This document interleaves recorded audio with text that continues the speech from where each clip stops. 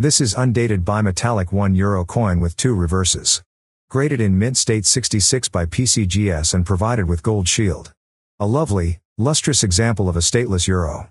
Though it has been placed in France for auction, this coin does not reference a specific country, as it depicts common Europea reverse design on both sides shared by all member states. An interesting conversation piece regardless.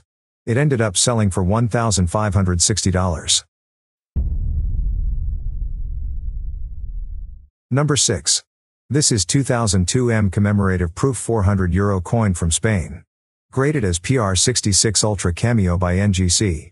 Struck to commemorate 150th anniversary of the birth of Antonio Gaudí, a prominent Spanish architect. Comes just with trivial marks. Actual gold weight is 0.86 troy ounces. It was sold for $1,527.50. Number 5. This is 2007 Monaco Grace Kelly 2 euro coin. Why this coin is so valuable. According to Florinus it was the rarest 2 euro commemorative coin between 2007 and 2014, mintage of 20000 pieces. This commemorative coin was one of the main catalysts that were behind the rise of value in rare 2 euro coins. The coin appeared in circulation to commemorate the famous Princess of Monaco Grace Kelly in 2007. Around a decade ago coin collectors purchased these coins for 120 euros. Now the value of this coin stretches to 5,000 euros and beyond. Currently it is showcased for 3899,95 euro which makes nearly 4085.53 in US dollars.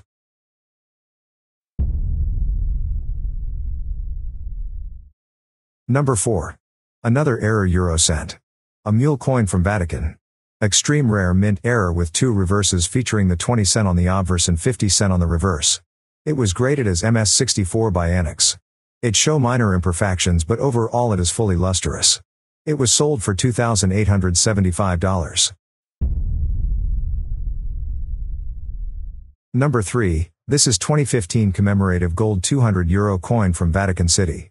Uncirculated but ungraded coin featuring Pope Francis at prayer on obverse and allegory of prudence or wisdom on reverse. Weight of this non-circulating gold piece is 40 grams, and diameter 38.5 millimeters. Out of mintage of 499 pieces. It was sold for $3,120. Number 2, this 2019 gold 500 euro from France. Graded as PR70 Ultra Cameo by NGC.